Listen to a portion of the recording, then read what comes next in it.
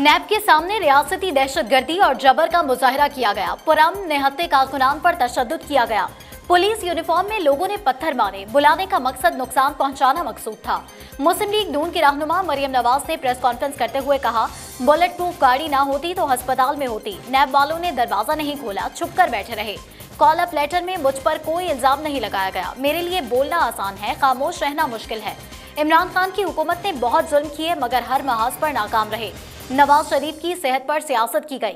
सब वोट को इज़्ज़त दो पर मुतफिक हैं। एपीसी में भरपूर शिरकत करेंगे।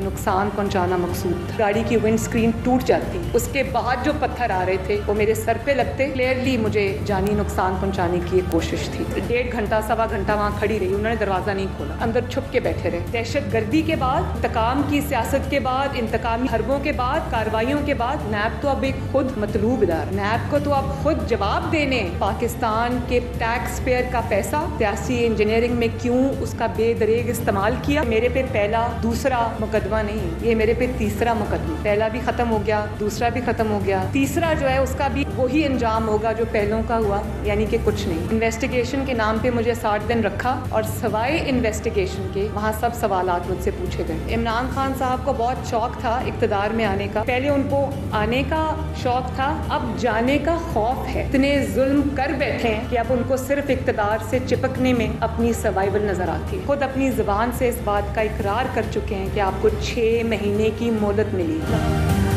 पार्टी मेरे साथ बैठी है, मेरे सीनियर्स मेरे साथ बैठे हैं, पार्टी का एक ही बयानिया जो नवाज़ शरीफ का बयानिया है और जो वोट को इज़्ज़त दो का बयानिया नवाज़ शरीफ का जो बयानिया था और है, उसको वक्त ने साबित किया है कि वो बिल्कुल ठीक था। और वो नवाज़ शरीफ का बयानिया नहीं है, वो हमारे आइन का बयानिया है, हमारे दस्तूर का बयानिया है। अगर नवाज़ शरीफ ने उससे हट के कोई बात की है तो फिर किसी में अगर कोई चैलेंज कर सकता है तो करे। हम नवाज़ शरीफ मरियम नवाज़ शरीफ, शाहिद खाकान अब्बासी, राना सनाउल्ला साहब, जितने लोग यहाँ खड़े हैं, जितने लोग यहाँ नहीं हैं, शहबाज शरीफ साहब हो या कोई भी हो, सब एक बात पे मुतफिक हैं, वो है नवाज़ शरीफ की लीडरशिप और वोट को इज़्ज़त दो।